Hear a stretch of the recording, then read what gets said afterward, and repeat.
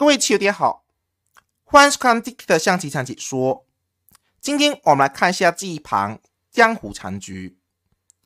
这盘棋局如果在街头上摆设出来的话，估计呢不少棋友会上当受骗，因为此局的变招非常多，陷阱呢层出不穷。如果一旦不查，每一步棋都是一个坑。那么接下来我们来一探究竟。表面上。黑方这边的杀招比较多，中路有将面，拱中卒将、平中卒将、拱高卒将、平底卒将或车将都有杀棋。面对黑方的多种杀招，红方此局根本防不住，也只能以攻为守。那一上手，你会发现红方又不能平车战中来将，被黑方的车给盯住了。你如果进炮将的话，黑方一下士仍然可以高枕无忧。完全呢没有后续的手段来牵制，那这里红方唯一的正手也只能呢先进车将，B A 方下将之后再次居将，老将现在上不来，红方进边车就是呢双车的困杀棋面，所以 A 方迫不得已唯有下将这一步棋可走，但一下将，红方这手又该何去何从？红方这边呢，要巧妙利用双车的优势，通过点将的方式，先把老将给勾上来，随时呢创造有进炮造杀的余地。但是现在进炮将肯定是毫无意义，黑方仍然呢可以下士，红方呢压根就没有威胁。但这里红方呢要走一个过门，就是呢先平车掏底将，把老将呢引离开来。先一方这个士是撑不起来或落不动的。因为我退车将的时候，就是一个天地车的杀法。那一方这边呢，既然不能弱势，就只有平将这一步棋可走。在当前局面，红方退车，如果吃掉花心卒，黑方呢还是有进底车的杀棋，所以红方呢吃卒根本来不及。那你如果进炮将的话，黑方就弱势，红方呢也没有后续的手段。这时候红方呢唯一的正手。到底该怎么走呢？很多球就左右为难。这边红方要平车一将，把老将引到中路，紧接着呢再次进炮做杀。一旦这么走，棋面就有所不同。黑方现在呢有挡车或下士两种变化。如果黑方呢直接下士，反倒输得非常快，因为红方这里退车将，黑方呢就只能挡士，刚好呢。利用双车的优势，扛士将就可以围剿了。你一下将，我退车将，逼你下将之后，照头一棒子，把 A 方的士引上来，就是一个双车的绝杀机会，必败。所以现在红方这边呢，选择进炮将的时候，黑方士是落不动的，唯有退车挡炮，这一步棋可走。一旦这么走，红方趁此机会。再次呢，平车将为时不晚。黑方刚才已经说过了，势落不动也撑不起来，只能呢赶紧平老将。红方呢就可以退车，踩掉黑方的花心卒来解围。但是黑方呢这手会发现，你平底卒将，我就平帅战中，毫无意义。而且呢，一旦平帅战中的话，红方随时有白脸将杀的机会。而这时候呢，黑方呢会发现。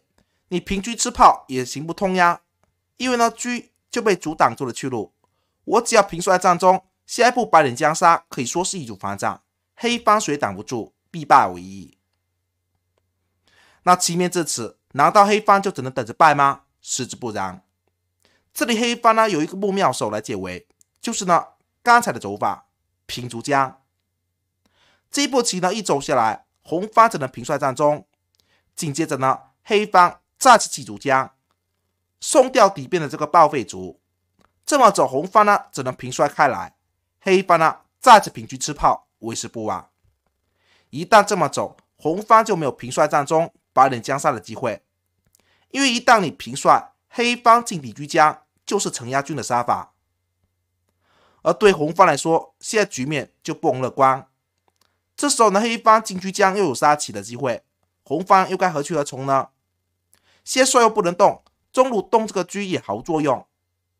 但是红方这一边呢，刚好有底车的优势，利用车兵的联动平车过来，看黑方呢敢不敢对车。如果这时候黑方呢敢对车的话，你仅剩炮卒而已，肯定要输棋。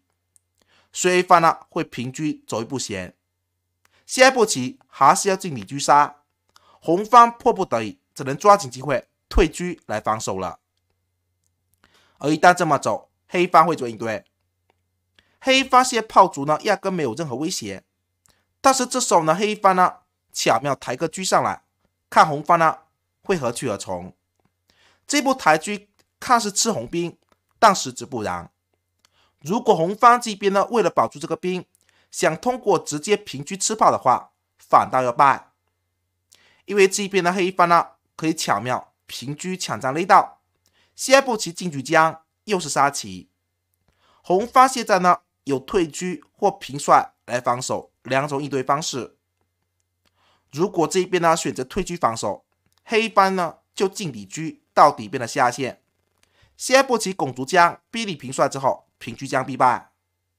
而这时候呢，红方虽有双车，完全呢就没有施展的余地。你平帅战中呢也徒劳功，黑方一拱卒，下一步平车杀棋，易主反掌，红方呢肯定要输。那既然红方这边呢不能退车防守。待黑方平车将内之后，如果红方平帅呢，也一样。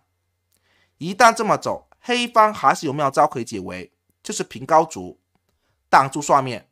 下一步棋埋伏有一个进底车的杀棋机会。而红方这手又该何去何从？红方现有平帅或退车回防两种应对方式。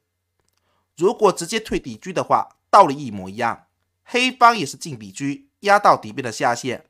下一步棋拱卒将平卒将，还是车主围剿的棋面。而红方这时候呢，再次平帅也来不及。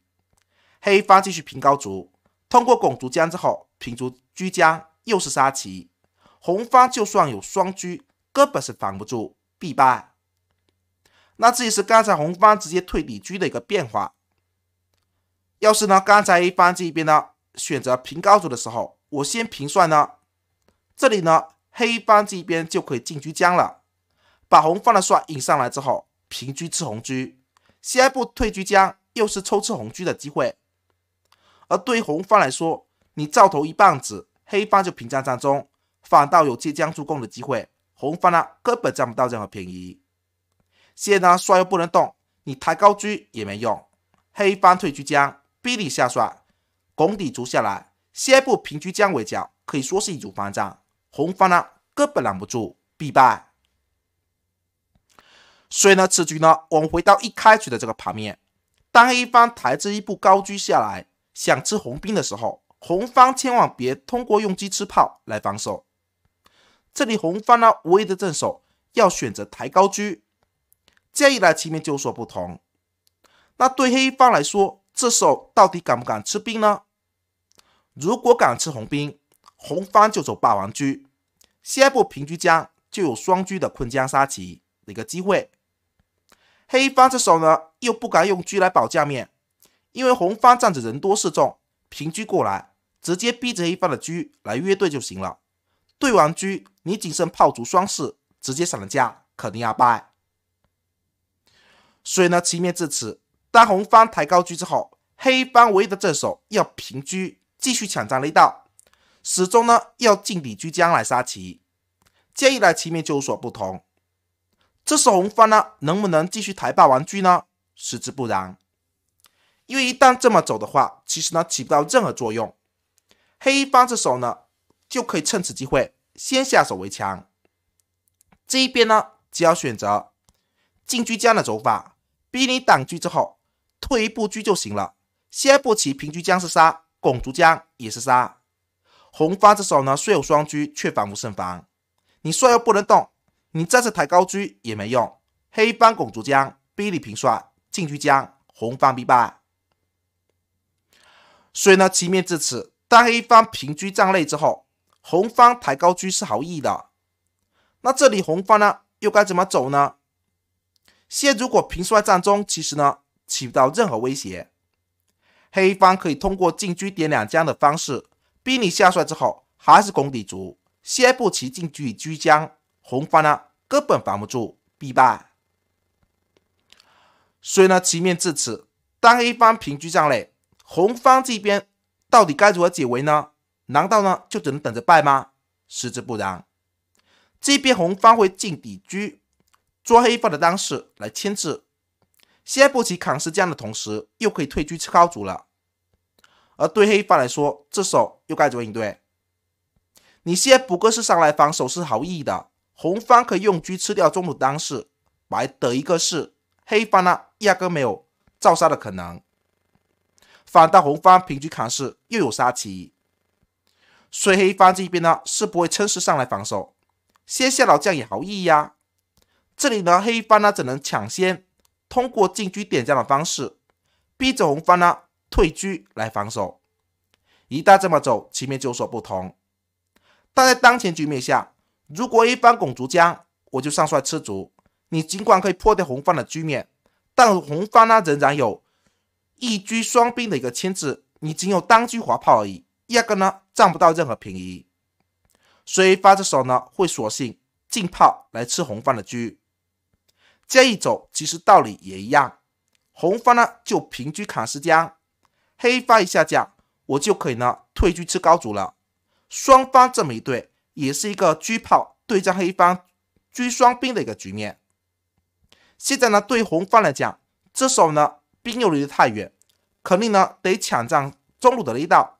挡住一方退炮防守的同时，又可以牵制住车炮的一个联动，而这时候黑方呢又该何去何从？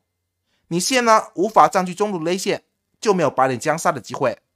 这时候呢局面对黑方来讲十分不利，所以黑方呢会退炮叫车将。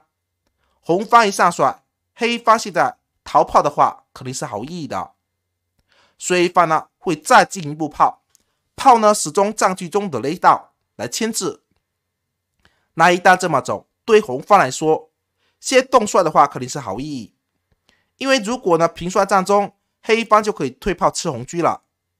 你如果下帅，黑方又是刚才那一套退炮叫车将，逼你上帅之后，还是把炮倒腾回来，这样的话，双方只能互为牵制，握手言和而已。但红方这手呢，能不能上帅呢？也不行，因为一方可以退高车。下一步棋既可以吃高兵的同时，平车将又有杀棋，红方呢根本占不到任何便宜。所以红方这边呢，索性帅不能动，赶紧呢利用兵来围剿。但是现在应到底应该是拱高兵还是平高兵呢？成为此局的关键点。如果平高兵，黑方就退车守住这个点，你兵就攻不下来了。下步棋平车一将，你又不能平帅战中。防止红方的退炮吃车，一旦挡车的话，黑方跟你对完车，你仅剩双兵而已，黑方完全有机会把炮绕一圈到底线，制服红方敌边的当兵。一旦这么走，红方呢反倒要败。